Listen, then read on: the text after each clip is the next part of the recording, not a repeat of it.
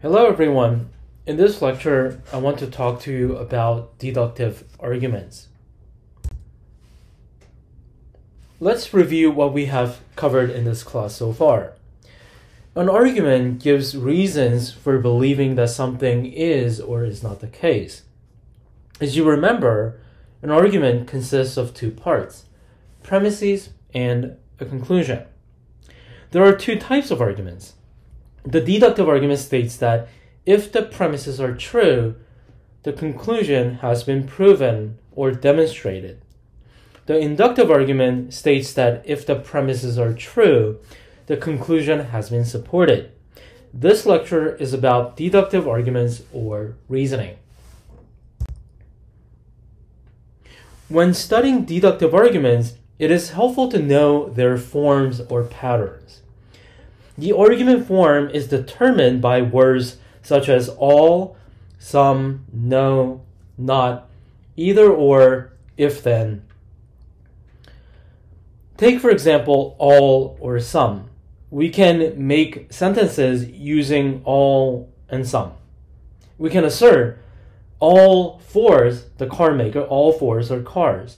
Some Fords are cars, some Fords are not cars, and no Fords are cars. Sentences using all, some, not, no are known as categorical statements. Categorical statements express the, the categories. Cars belong to one category. Fords, the American uh, car maker belongs to another category. There is a logic known as categorical logic, invented by Aristotle, an ancient Greek philosopher who lived in the 5th century BC, about 2500 years ago. Categorical logic deals, deals with syllogisms such as this All dogs are mammals, all mammals are warm blooded, and all dogs are warm blooded. Categorical logic is very useful and was taught in schools, including colleges and universities, and they are still taught in schools and colleges and universities even today. However, at the turn of the 20th century, mathematicians and philosophers thought that we need to improve upon Aristotle's categorical logic. So they invented other logical systems, such as propositional or sentential logic, predicate logic, modal logic, and so on and so forth, which is really the foundation of computers, computing, and computer science.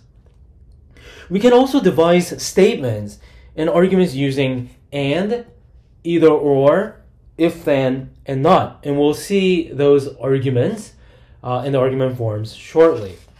One thing to remember is that our argument form or argument forms are distinct from argument content. The form has to do with the sentences or an argument's structure. The content is what the sentence or an argument expresses. Uh, so both are important, but they are different. Studying deductive argument can be beneficial for analyzing ordinary language. So although we speak and communicate in English, the English language contains sentences that are vague and ambiguous studying deductive arguments can help us analyze those sentences better. Studying deductive argument will enable you to think clearly, precisely, conceptually, and abstractly, and can enable you to write clearly and precisely. And those are very valuable skills to develop in college. One thing to remember is that deductive arguments give us certainty which is a very valuable commodity in today's uncertain world. However, deductive arguments generally do not give new knowledge. In what follows, I wish to examine several deductive argument forms or patterns. The first is the disjunctive syllogism. Now, the word disjunction means either or. Syllogism is an argument with two premises and one conclusion. Let's consider an example. Either Ralph walked the dog or he stayed home. He didn't walk the dog. Therefore, he stayed home. This is a disjunctive syllogism because there is a disjunction in the first premise, either or. This is a syllogism because the argument has two premises and one conclusion. The form of a disjunctive syllogism is as follows. Uh, either P or Q, and so this expresses a disjunction. And then the second premise always denies either P or Q. So not P, therefore Q. Now notice that P's and Q's are variables, and we can fit in whatever uh, content that we want when making an argument. So let me illustrate disjunctive syllogism with two fun examples. The first example comes from the Chronicles of Narnia, The Lion, the Witch, and the Wardrobe, which was written by C.S. Lewis and made into a movie a few years ago. In the book, Peter, Susan, and Edmund are wondering if their sister Lucy's claim that she went into this magical place called Narnia is true or not. So they consult a professor. The professor admonishes them that through logic, they can figure out whether Lucy is telling the truth or not. So this is what the professor says. Logic, said the professor said to himself. Why don't they teach logic at these schools? There are only three possibilities. Either your sister Lucy is telling lies, or she is mad, or she is telling the truth. You know she doesn't tell lies and it is obvious that she is not mad. For the moment, then, and unless other, any further evidence turns up, we must assume that she is telling the truth. So, more formally, we might say this.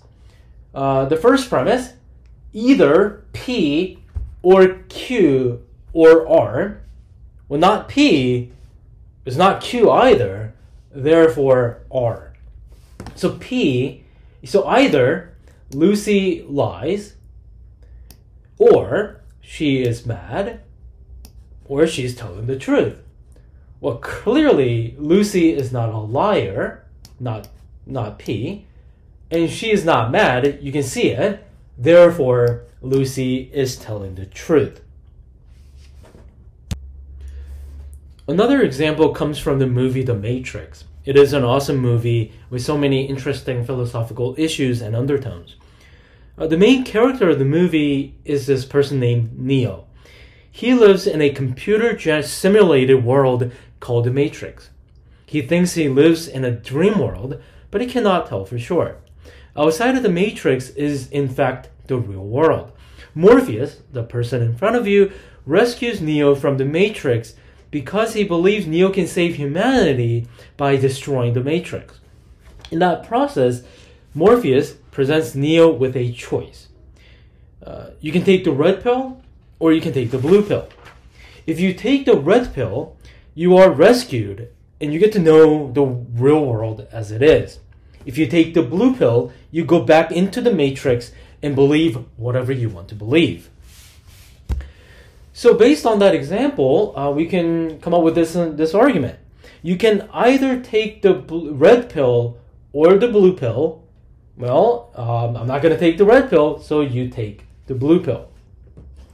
Or you might say, well, you can take the red pill or the blue pill. I'm not going to tell the, I'm not going to take the blue pill. Therefore, I'm going to take the red pill.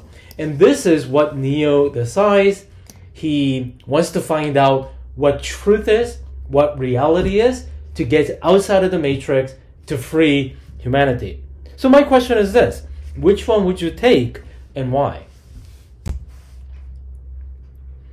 The next deductive argument form or pattern we'll examine is hypothetical syllogism. Hypothetical means conditional, so kind of if then or conditional statements. A syllogism is a deductive argument pattern composed of three statements, two premises, and a conclusion. So let's consider an example. If the ball drops, the lever turns to the right. If the lever turns to the right, the engine will stop. and therefore, if the ball drops, the engine will stop. The, uh, the hypothetical syllogism form is this if P, then Q, these are variables.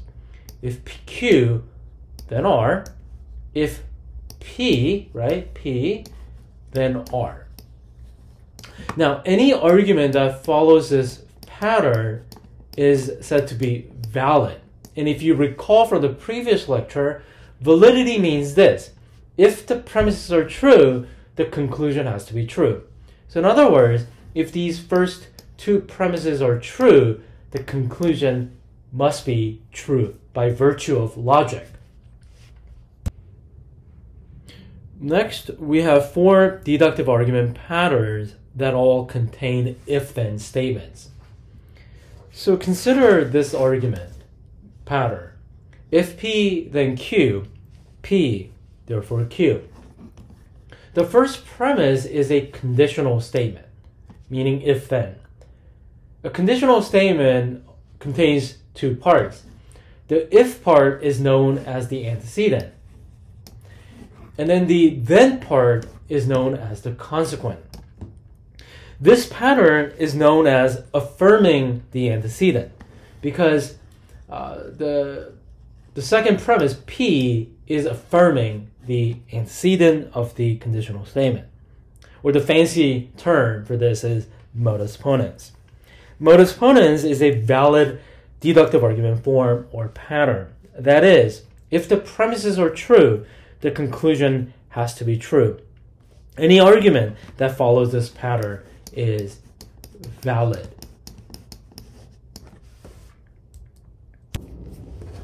So in this argument pattern, it says if P then Q, not Q, therefore not P. Uh, premise one is a conditional statement. P is the antecedent of the conditional statement. Q is the consequent of the conditional statement. In uh, in P2, in the second premise, we are denying the consequent. So thus, this is known as denying the consequent, or also known as modus tollens. Modus tollens is a valid argument pattern, meaning if the premises are true, the conclusion must be true. So whenever you encounter an argument that follows this exact pattern, you can be assured that it is a valid argument. So now consider this argument, or this argument pattern, I mean. If P, then Q, Q, therefore P. Again, the first premise is a conditional statement, right? P, right, the first part of it is called the antecedent the second part of it, Q, right, is the consequent. This argument is an invalid, this is an invalid uh, form of reasoning. So affirming the consequent is an invalid form of reasoning, meaning even if the first two premises are true, it does not guarantee that the conclusion has to be true. So this argument pattern says this if P then Q, again, this is a uh, conditional statement, P antecedent, Q the consequent. But notice that in the second premise, we are denying the antecedent. You're denying the antecedent, and therefore you're denying the consequent. So this is a fallacy. This is an invalid way of reasoning. So whenever you see an argument that follows this pattern, you can safely assume that it is that they will be invalid arguments. So I have summarized the discussion in the past four slides in this chart. So I recommend that you first kind of think through the logic behind each form of deductive reasoning and memorize the pattern until you get familiar with the valid and invalid argument patterns. So let me conclude with um, this fun example from Lewis Carroll's Alice in Wonderland. Uh, on page 23, Alice says this I am sure I am not Ada, she said, for her hair goes in such ring, long ringlets, kind of long hair, and mine doesn't go in long ringlets at all. And I'm sure I can't be Mabel, for I know all sorts of things, but she, Mabel, oh, she knows such a very little. Based on the text in the previous slide, I have devised four different arguments. Uh, one, two, three, four. Please read through them and tell me which ones are valid and why, and which ones are invalid and why.